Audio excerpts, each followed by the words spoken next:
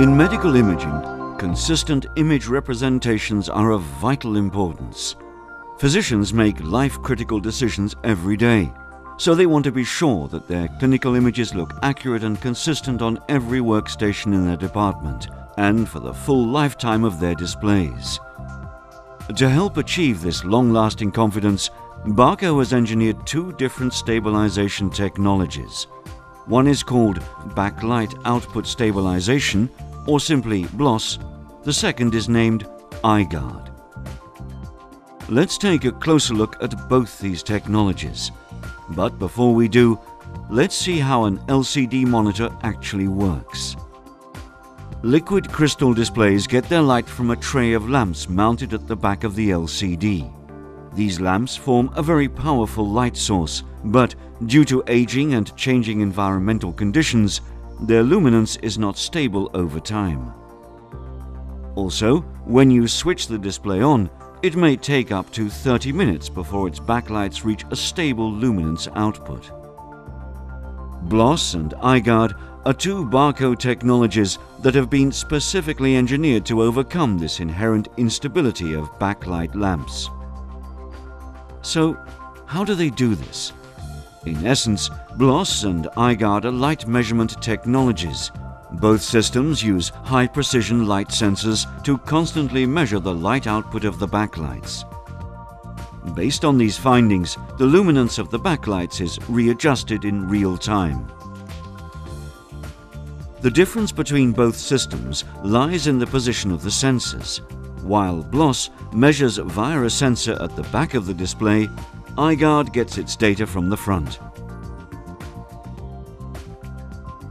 BLOS uses a built-in sensor that is mounted at the back of the display, close to the light source. The BLOS sensor continuously monitors the light output in search of fluctuations or downfall. If the luminance no longer meets a predefined value, more power is applied to the backlights to readjust the white point of the display. I-Guard monitors the display's performance just the way a radiologist does, from the front of the display. Because of its front-mounted position, I-Guard does not only stabilize the luminance of the backlights, it also deals with additional causes of instability. To understand this, let's follow a light beam on its path from the light source up to the moment it hits the actual screen surface. On its way, the light passes a number of consecutive optical layers. The behavior of each of these layers shifts over time as a result of aging and changing environmental conditions.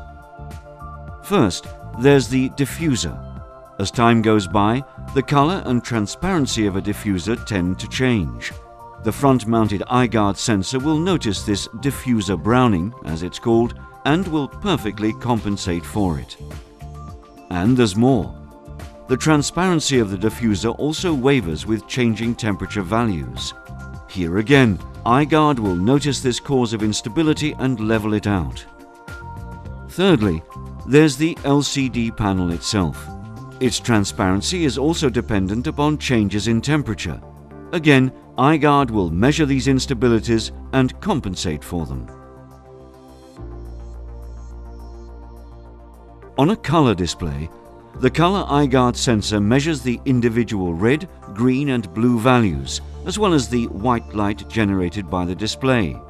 This results in very consistent color representations over the full lifetime of the display.